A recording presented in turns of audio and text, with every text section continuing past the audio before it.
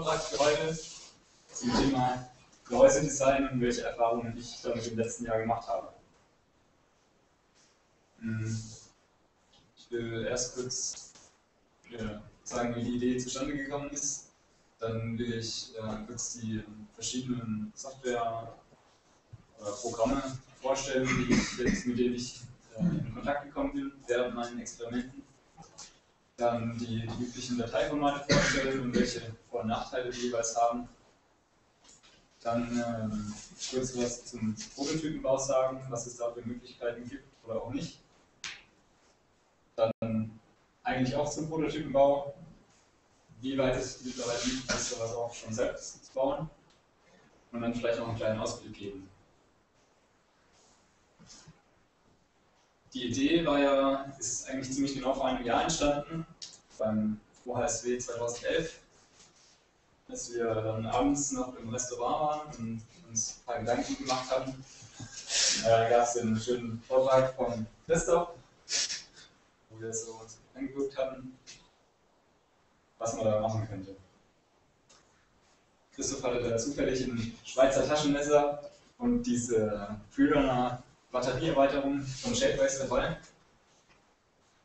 und hat dann mal angefangen, ein bisschen an, an der Erweiterung ja, rumzuschnitzen und das dann mal im Endeffekt so ein bisschen aufzubauen, dass man so schon so was Gehäuseähnliches in der Hand hatte am Sonntag. Das sah dann am Schluss schon ziemlich nach nach Handy aus und nach Gehäuse aus. Hat eigentlich einen ganz guten Eindruck gemacht. Ja, sind noch ein paar Krümel im Anschluss.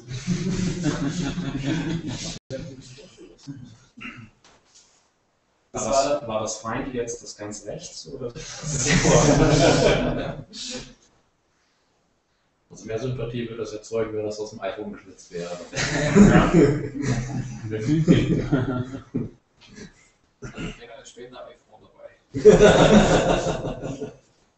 ja, das war dann eigentlich der Punkt, an dem ich äh, gemerkt habe, dass also dass ich erstmal das erste Mal irgendwie so ein Modell von Shapebase in der Hand hatte, nämlich dieses weiße Batterieerweiterungsteil.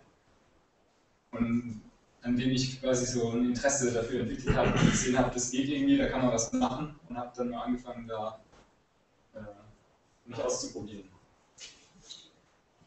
gab ja schon vorher Versuche, einfach mal die Originaldaten, die es ja gab von Monco bei Shapebase hochzuladen und zu gucken, ob man das einfach drucken kann. Das hatte, glaube ich, Nikolaus auch schon mhm. ausprobiert gehabt.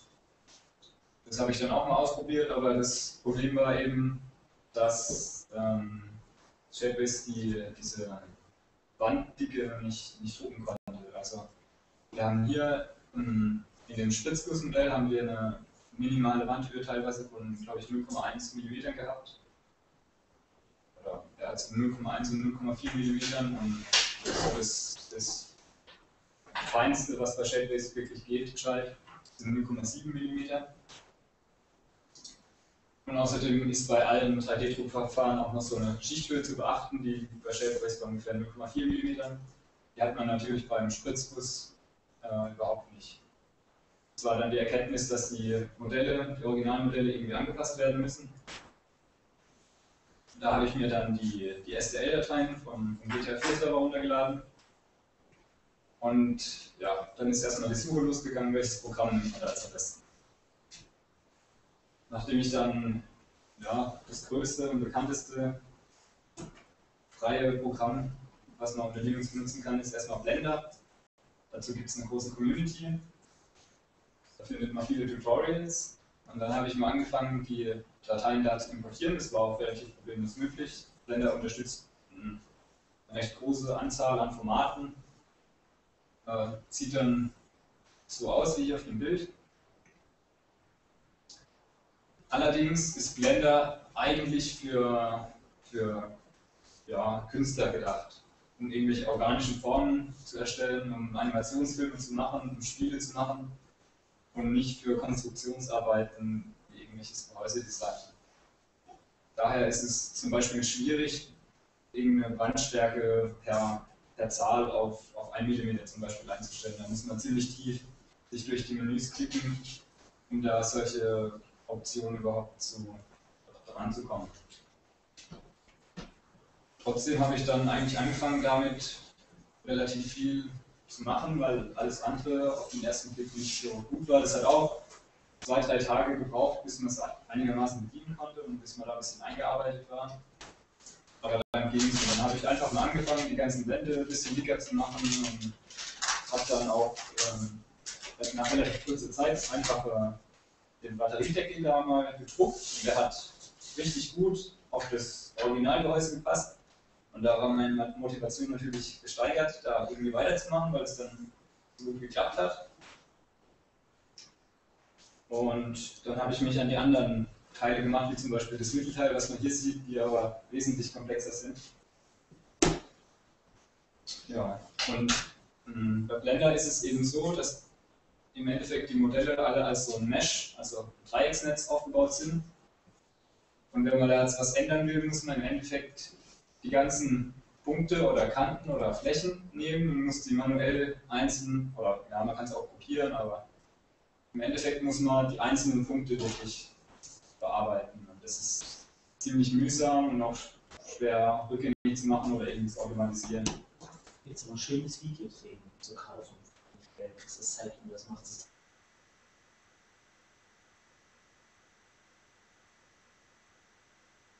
Genau. Ja, dann mit dem Blender habe ich es dann aber eigentlich geschafft, so ein ganzes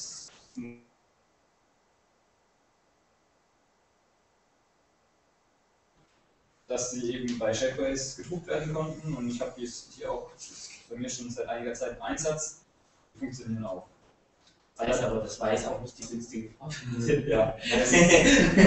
Also günstig vom Preis, Ja. weiß, ja. aber von der Benutzung her ist es total schnell verdreckt. Aber das ist ein schwarzes, das können wir uns später mal angucken, das sieht richtig schick aus. Und, ja. Es ist allerdings von der, von der Oberflächenbeschaffenheit her nicht zu vergleichen mit dem Originalgehäuse und deshalb auch nicht für den massenweisen Gebrauch eigentlich zu benutzen. Ein anderes Tool ist FreeCAD. Was kostet das ein Einzelstück? Wenn das jetzt Ähm, komplett schwarz oder weiß? Kostet zwischen 70 und 80 Euro bei Shapeways. Also das ja, ist teuer, geht aber noch. Wenn es einer wirklich will, ist es eine Option. Mhm. Und so für Einzelstücke, wenn man weiß, auf was man sich einlässt, dass es halt nicht die Qualität hat, wie es gespritzt ist, aber doch äh, brauchbar ist, dann ist es durchaus eine Option. Ja, FreeCAD, da habe ich jetzt erst am Schluss angefangen, ein bisschen mehr das auch anzugucken.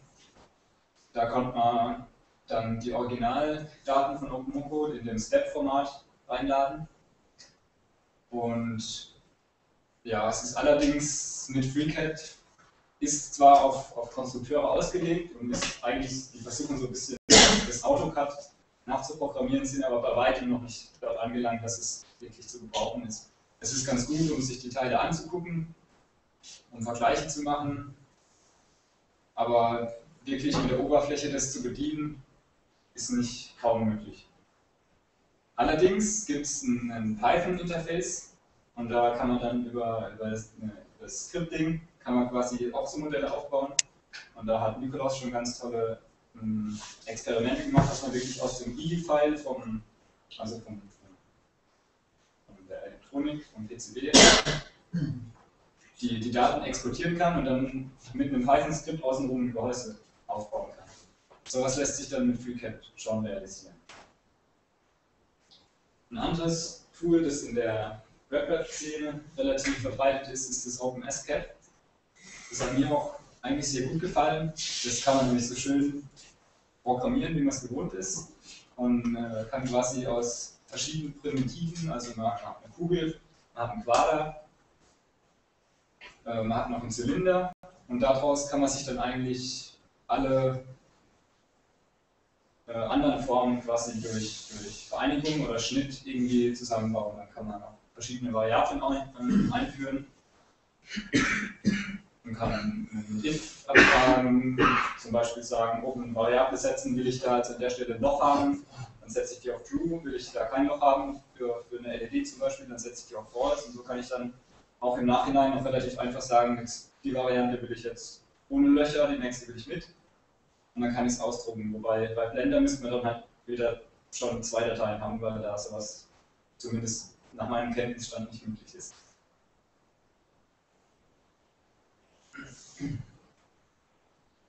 Genau. Großes Problem von OpenSCAD ist allerdings, dass es ein eigenes Format hat, das nirgends anders eigentlich unterstützt wird. Das heißt, man kann das Skript nur in dem OpenSCAD laden, man kann dann das fertige Modell als, als STL-Datei exportieren, die eigentlich überall gelesen werden kann, die allerdings nicht mehr weiter bearbeitet werden. Oder zumindest nicht mehr geschaltet. Nur so wie Blender, dass man halt die einzelnen Punkte irgendwie durch den Raum schiebt. Aber ansonsten lässt sich damit eigentlich relativ nett arbeiten. Man kann halt alles, die, man, man, definiert die ganzen Abstände und so weiter, 14 Zahlen. Das heißt, wenn ich ausmesse, meine Leiterplatte ist jetzt so, so viel Millimeter breit, dann sage ich einfach, mach mir einen Kasten, der so viel Millimeter breit ist. Und dann ist es auch so. Und die Zahlen stehen dann in Millimeter oder ist es äh, eine Kollationszahl? Kann ich auch ja. Kommazahlen eintragen? Ja, Kommazahlen gehen und äh, die Einheit ist, ist im Endeffekt einheitenlos. Das muss man dann zum Beispiel. Also das ist der Meinung, dass es müsste ein Kilometer sein, dann kann man so als Kilometer. Genau. Das musst du dann, wenn du quasi das STL in deinen 3D-Drucker lädst, musst du auswählen, die Einheiten sind jetzt Millimeter, sind Inch oder sind sonst irgendwas. Ja, ein anderes Tool, das leider keine freie Software ist, aber gibt es auch nativ für Linux, ist eine Freeware, ist das NetFab.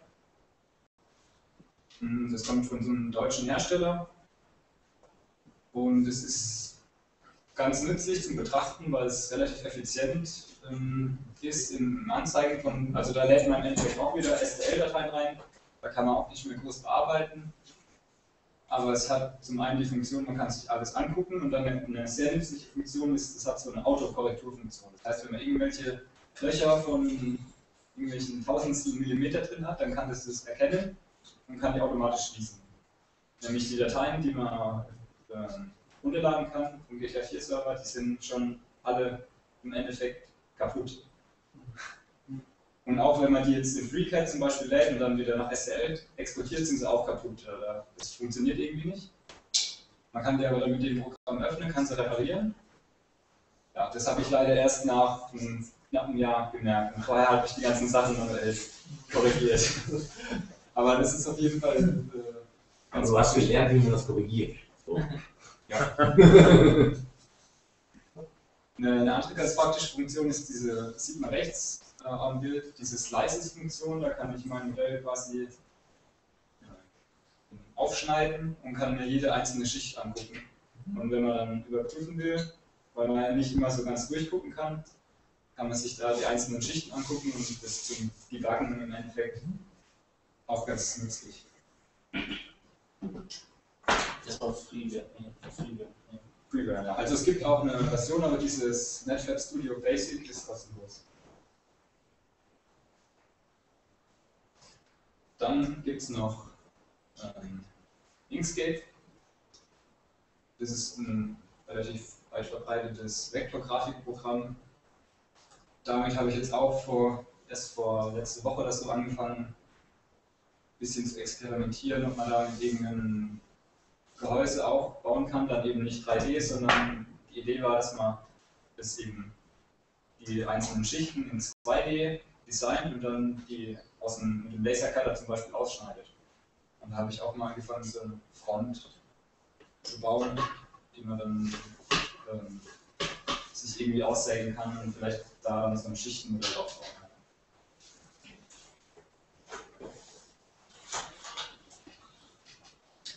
Ja, die Dateiformate habe ich jetzt schon ein paar Mal erwähnt. STL ist äh, sehr portabel, also eigentlich jedes 3D-Programm kann irgendwie STL öffnen, wenn man es irgendwie ausdrucken will. Auch muss es immer im STL-Format vorliegen.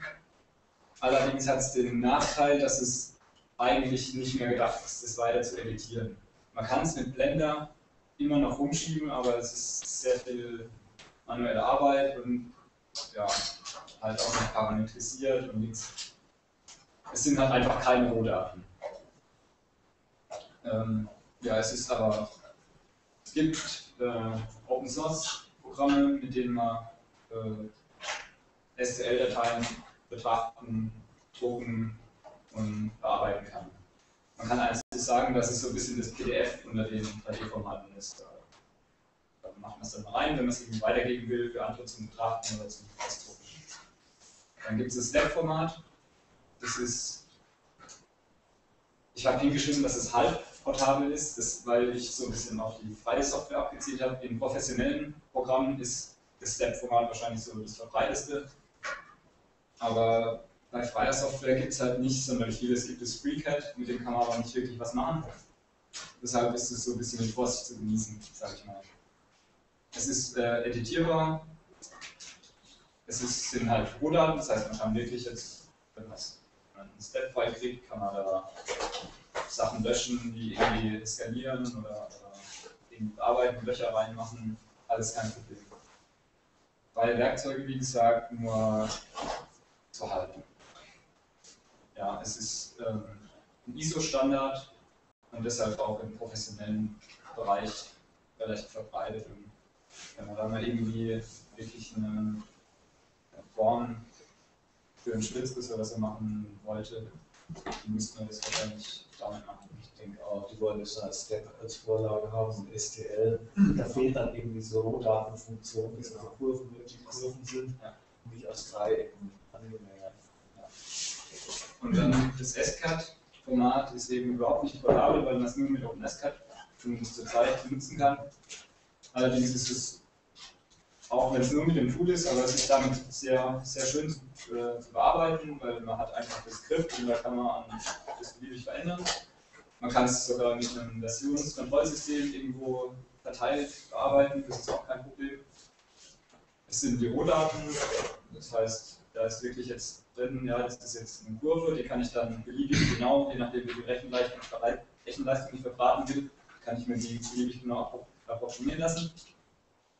Und es gibt eben das freie Werkzeug OpenSCAD, mit dem ich es bearbeiten kann. Und das ist eben äh, das Prinzip der Constructive Solid Geometry. Das heißt, ich habe die Primitiven, die ich vorhin schon erwähnt habe, die ich dann mh, halt irgendwie vereine oder, oder schneide gegeneinander, sodass ich dann irgendeine komplexere Form rauskriege. Aber die Primitiven werden, sind also immer noch bekannt, dass das jetzt eine Kombination aus einer, einer Kugel und einem Quader zum Beispiel ist. Und ich kann dann ohne Probleme sagen, ich will jetzt den Quader lieber einen halben Zentimeter weiter raus haben.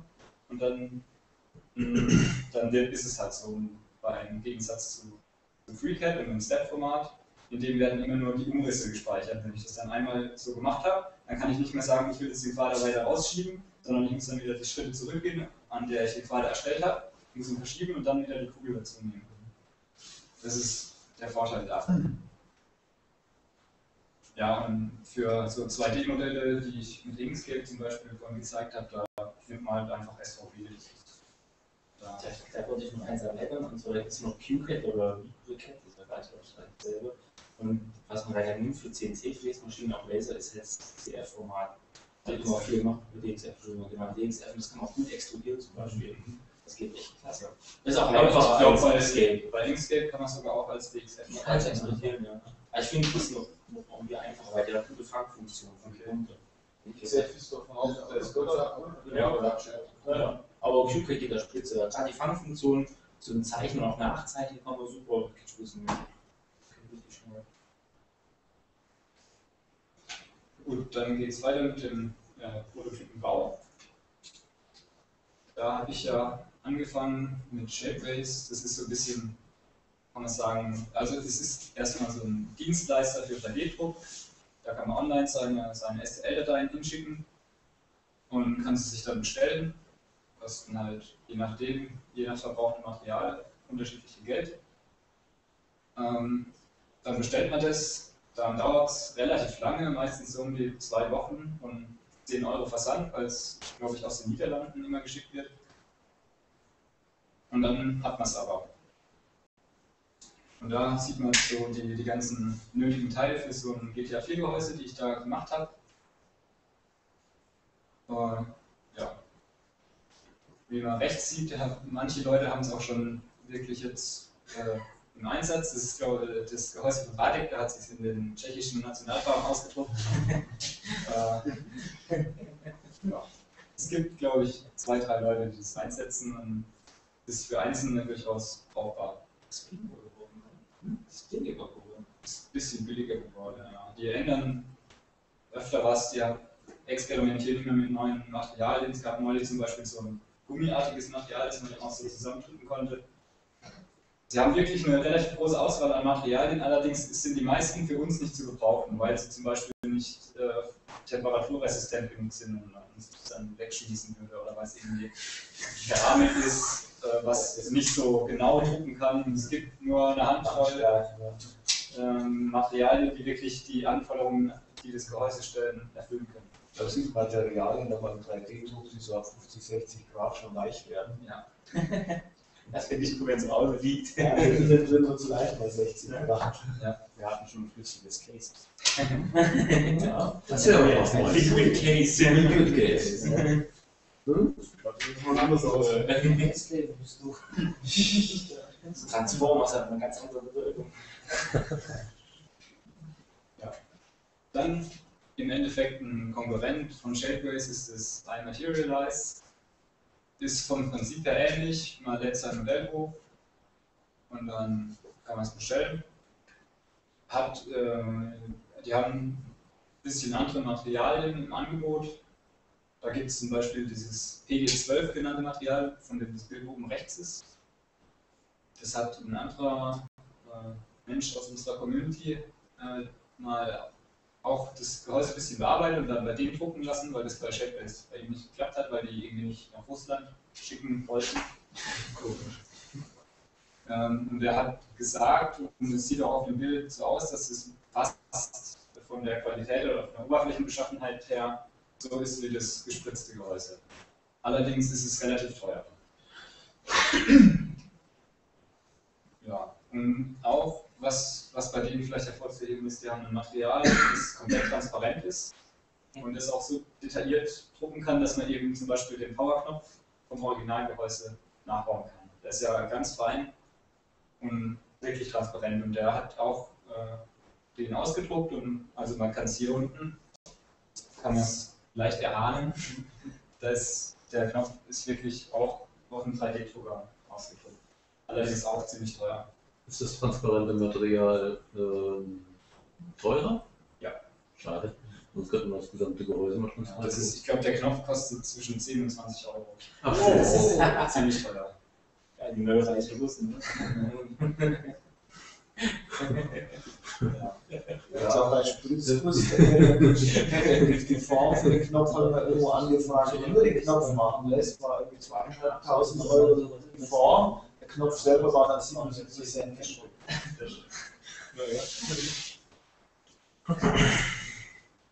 Ich habe wieder mit den Bauteilekosten gesehen. Dann die, die dritte Alternative, die jetzt mit meinem Gedanken, so ein Schichtengehäuse zu bauen, äh, aufgekommen ist, ist der Formulo. Das ist im Endeffekt kein 3D-Druck-Service, sondern ein Laser-Cutting-Service. Da lädt man eben seine 2D-Zeichnungen hoch, so wie hier von dem Gehäuse. Das ist zum Beispiel so ein Slice, den ich mit Netfab gemacht habe. Die kann man da hochladen. Dann gibt es eine ganze Reihe an, an Acrylglas oder Holz oder Pappe, Stoffe. Alle, also die haben wirklich alles im Angebot. In allen möglichen verschiedenen Dicken, Farben, transparent, nicht transparent, matt, glänzend. Da gibt es eine riesen Auswahl und dann kann man sich das da auslasern lassen. Und meine Idee war, da gibt es dieses äh, Pigo genannte Gehäuse für den Raspberry Pi. Und die haben das eben auch aus verschiedenen Schichten, aus Acrylglas ausgeschnitten und dann eben am Rand hier Schrauben reingemacht. Oder ob man nicht sowas vielleicht auch mit unserem, für unser Handy machen kann. Allerdings, Ich hab das schon geschichtet mal gemacht. Ja. Ist. ja, das Problem ist, glaube ich, vor allem dann die Knöpfe und so, weil der hat keine Knöpfe und wenn du da irgendwelche Mechaniken reinkriegst, es Ich muss genau überlegen, wie das machen. Ja, da muss man sich schon überlegen, wie man die Schichten auch aufbaut. Auch ein Problem sind die Löcher, die dann, weil du musst ja der, dann die Schicht irgendwo unterbrechen und dann hast du im Endeffekt zwei Teile, die dir auseinanderfallen. Also da muss man sich schon noch da weiter Achso, die können immer nur durchschneiden, ne? Die können nicht. Also ja genau, du hast immer nur eine Ebene. So, dass ich mal nicht lesen. Das ist schwierig.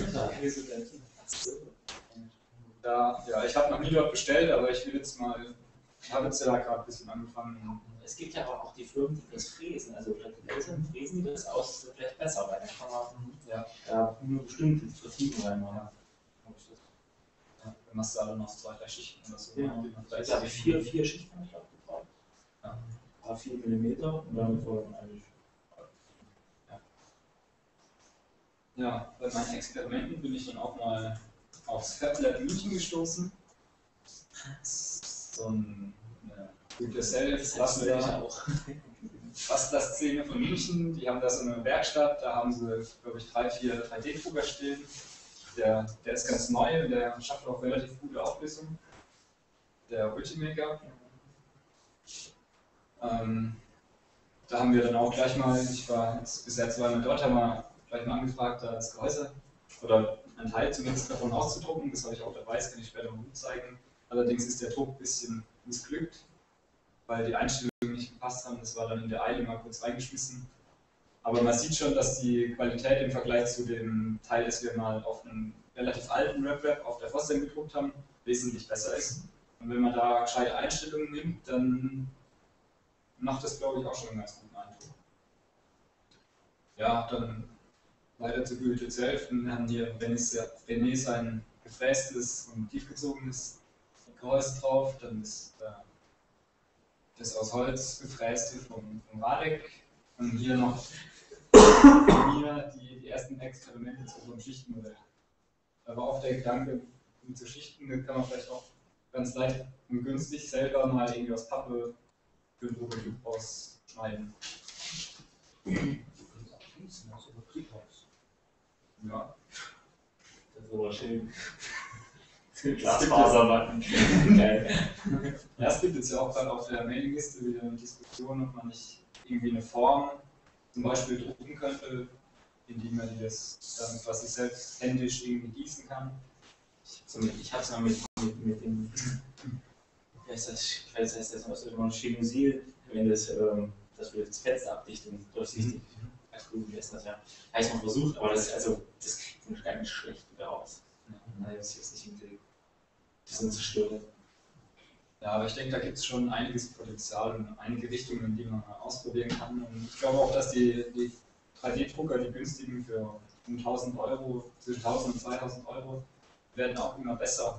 Und wenn man da ein Jahr oder zwei wartet, dann kann man damit vielleicht auch schon wirklich was Produktionsnahes irgendwie. Gestern war was bei Heise, das irgendwie komplett in Frankfurt so eine Messe ist und die, da gibt es einen kommerziellen äh, 3D-Drucker für 1500 Euro, Ja. wo man dann den Kunststoff irgendwie in Kassetten bekommt. Der sieht gut aus, scheint auch eine, schon eine ganz ordentliche Qualität zu haben. Und wenn sich da jetzt die nächste Generation von so einem kommerziellen Gerät vorstellt, dann kann man auch schon eine Menge machen damit. Wobei der hier von der, von der Schichthöhe, von der Auflösung her, glaube ich, mehr als das Doppelte schafft als der. Ja, das glaube ich sofort. Das war kommerziell noch hinterherhinken, das müssen wir. Das war der Einzige, der es geschafft hat, auf den 10er Mutter vorne die Beschriftung noch drauf zu drucken. Also die anderen haben alle versagt, ich habe auf den 10er Mutter da unten die 10 noch nicht drauf drucken können. Wobei die, die Makerbots sind jetzt ja auch eher in das kommerzielle Geschäft eingestiegen, haben Metallrahmen, alles schon professionell, mit Material, Ja. eben gescheit. Und die, die drucken, glaube ich, so in ähnliche Qualität wie der Ultimaker. Sind aber ein bisschen teurer, aber ich weiß nicht, ich habe gehört, dass sich der, der Stahlrahmen schon auch auswirkt von der Qualität her, weil, weil der die Vibration besser abfängt. Also ich bin ja viel in solchen Schweißfirmen unterwegs. Diese ganzen kleinen Teile, die die zusammenschweißen, die werden mittlerweile fast alle, mit einem Laser ausgeschnitten. Die haben alle solche Trumpflasermaschinen da. Und das kann man in Stückzahlen auch machen lassen. Also wenn man jetzt nicht bloß drei Stück hat, dann kann man sich das ja doch machen lassen. Das Also quasi das Lasern jetzt. das Ausschneiden. Ja. Das, das ist kein Problem. Also, Ja. Und die Schnittkanten, die sind wirklich schon sehr, sehr gut Ja. es gibt auch andere Systeme, die äh, in der Lage sind, eine sehr gute Schnittqualität. Da gibt es äh, Firma Kellwerk äh, in der Nähe von Berlin, die haben so seit Jahrzehnten schon bauen die so äh, Plasmaschneideinrichtungen und die haben den äh, High-Focus Feinstahl äh, jetzt entwickelt seit ein paar Jahren und die sind da also überhaupt ganz fit auf die, mit so ganz äh, saubere Schnittkanten dann hinzubekommen. Sieht fast aus, kommt so aus wie mit dem Laser. Mhm. Aber verbreiteter ist, glaube ich, schon der Laser. Mittlerweile. Ja, da muss man mal ein bisschen Ich Richtung. war, da, ich war da vor zwei Jahren, das war jetzt erst wieder, war ich nicht, auf der Euroblech-Messe in Hannover. Und da kann man diese Firmen sehen, die haben da gigantische Stände aufgebaut. Wenn du da fragst, was der Stand kostet, da sind Millionen, was der Stand allein kostet. Wir haben da ein richtiges Restaurant auf Stützen da aufgebaut und unten stehen diese ganzen äh, Lasermaschinen und geben dann auch gerne so kleine Musterstücke mit, wo man sowas als Erinnerungsstückchen mit nach Hause nehmen kann. Das ist interessant vielleicht auch für euch, falls mal jemand da, da hinkommt. Vielleicht fahre ich auch mal über die Liste. du musst ja mal in Friedrichshafen auf der Messe mitgehen. auch. Hast du wieder Zeit? Ich habe mir weiter mal gedacht. Kann sein, dass es in der Kiste ist, ich weiß nicht. Wir, haben, ja, wir waren ja auf der, auf der Plastikverarbeitungsmesse, da gab es auch einiges. Ein bisschen halt in andere Richtungen. Aber Ich denke mal, man kann in beide Richtungen mal. Also 3D-Druck habe ich jetzt schon eigentlich das ganze letzte Jahr mit verbracht und so das, das Schneiden oder Lasern, da kann man, denke ich, noch tiefer rein. Da geht vielleicht noch was. Letzter System, das war auch eine Firma, die, die, die sich nur eigentlich so auf Bleche schneiden auch spezialisiert haben. Die haben sogar Linux-Führung. Also eigentlich so keine und schicken das hin und dann kommt in einer Woche vorbei. Aber ich weiß nicht, wie die hießen und nicht, was das kostet. Also. Ja, da sind wir ja eigentlich schon ähm, beim Ausblick bei den Ideen und Vorschlägen. Ähm, Ja, das sind jetzt eigentlich so die ganzen eher professionellen Sachen aufgelistet, weil das Fazit eigentlich ist, mit den Mitteln, die man so hobbymäßig für kleines Geld irgendwo beim Internetdienstleister problemlos bestellen kann, die liefern einfach nicht die Qualität, die man braucht, um es im großen Stil zu verkaufen. Bei Shapeways oder ähnlichen Dienstleistern kommt sowas raus, was man durchaus jetzt unser einer als Entwickler oder so täglich benutzen kann. Das geht, das schützt das Handy und fühlt sich, ja, es ist halt ein bisschen rau, aber es fühlt sich eigentlich sogar ganz angenehm an und kann auch ganz schick aussehen, wenn man es in schwarz hat. Ähm, ja, dann das Lasercutting will ich wie gesagt noch ein bisschen weiter recherchieren. Ja, Formenbau, da ist die Frage, ob man sowas vielleicht selber fräsen kann mit einer CNC. Ich versuche es jetzt gerade, ich habe schon angestellt. Ja, und dann die Rap-Labs natürlich weiter verfolgen, sich weiterentwickeln oder auch kommerzielle, günstige 3D-Drucker. Da kann man wahrscheinlich einiges damit machen. Ja, und ja, das war's dann eigentlich soweit von mir.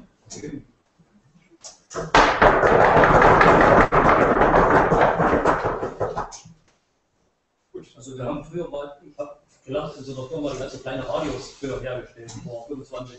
Das war Anfang, nee, Ende der 70er Jahre war das. Also da waren die Oberflächen durchaus auch so. Also ich finde es nicht schlecht. Ja, Wir haben gestern gemeint, das ist die Fingerpfeile für die Damen. Achso, Das ist nicht nur ein Handy, sondern das ist gleich auch. Genau. Ich finde, es fühlt sich gut an. Griff? Ich finde das auch besser, das das kann jetzt ich gelesen. Warum? Äh, Gas. Ich weiß nicht, was Problem ist. Wie viel Dämme? Sagst du vorher? Das ist das die Ja, das ist Das ist schick. Ja, das das Steuern. Gut, dann kommen wir jetzt zum Hands-on-Teil, glaube ich. Über die Wieso wäre Das